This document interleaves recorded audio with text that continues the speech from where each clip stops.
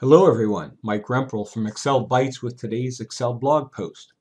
Today we're going to take a look at how to calculate the average sales of a list of accounts but eliminating the top and bottom, say 2% of our accounts. And we're going to do this in two different ways, a somewhat complex formula and then using a very simple function that Excel provides called trim mean.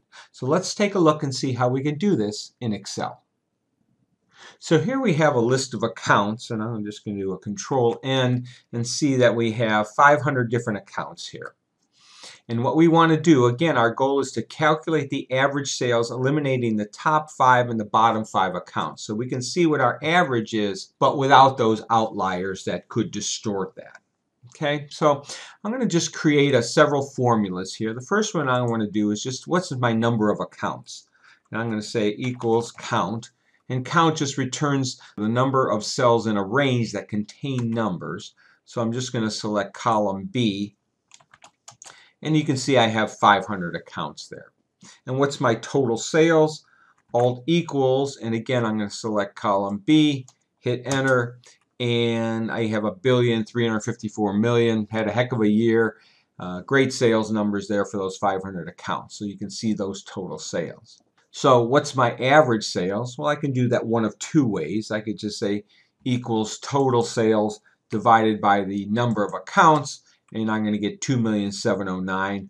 Or I can do equals average, and again select column B, and I get 2,709. Either way, I get the same answer there.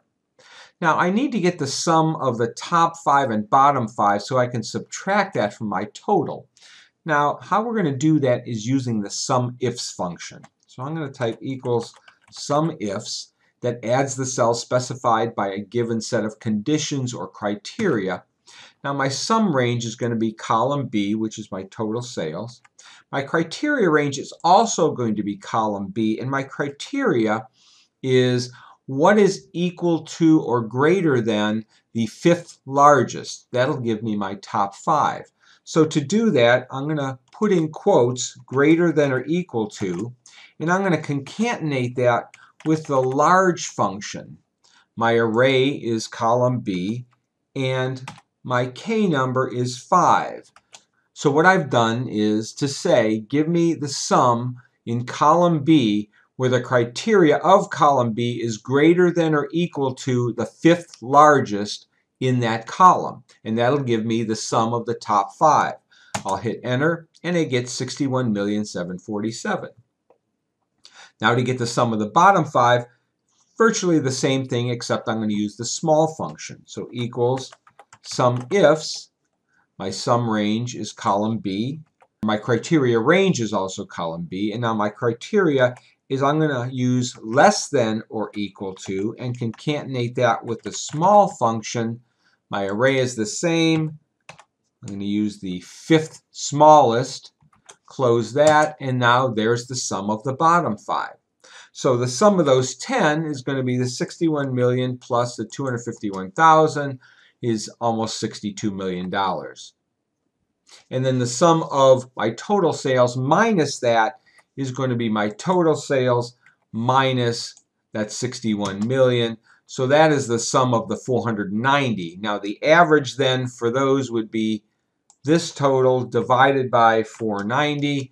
And now I've been able to calculate the average of my total sales minus the top and bottom five from my list. It's not significantly different, but it still eliminated $73,000, $72,000 of average sales from that list. Now, can I do that all in one formula? Sure. What I'm going to do is take equals sum, and my sum is going to be of column B, and from that I'm going to subtract, I'm going to put in parentheses, sum ifs, my sum range, my criteria range, my criteria is going to be greater than or equal to, and concatenate that with the large function, column B, 5, close that and close, close the large function and the sum ifs function.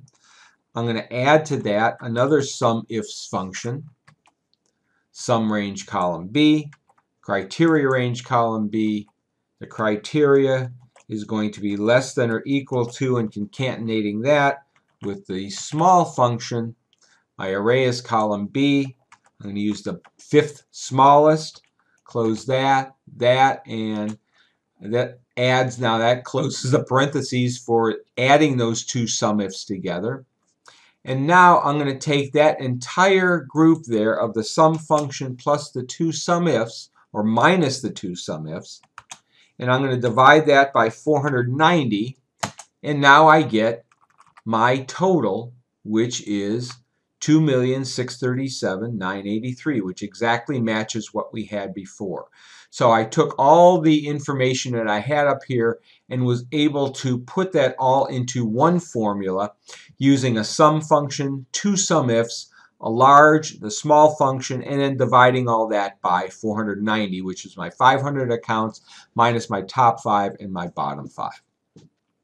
Now, what percentage did I eliminate? Well, I eliminated 10 out of my 500, so that's 2%. I eliminated 2% of my accounts. Well, an alternative way to do this is using the trim mean function. If we look at what that is, trim mean says it returns the mean or the average of the interior portion of a set of data values. So I'm going to hit tab. Now my array again is column B and my percent is 2%. 2% says I want to eliminate 2% and how trim mean works, it will take half of that from the top and half from the bottom. So 1% off the top, 1% off the bottom, which in this case is 5 of my 500, which is 1% from the top and bottom. I close that parentheses, hit enter, and I have the exact same number, 2,637,983, that I was able to calculate using this more complicated sum, sum ifs, large, small, and dividing all that by 490. And there you have it. I hope you like what you see. If you do like what you see here, please take a minute to share this post on your favorite social network. I can be found on Facebook, Google+, Twitter, LinkedIn, and YouTube. So I hope you enjoy this. If you'd like to see more, please feel free to stop by my website, excel-bytes.com, and I hope you subscribe. So have a great day and happy excelling.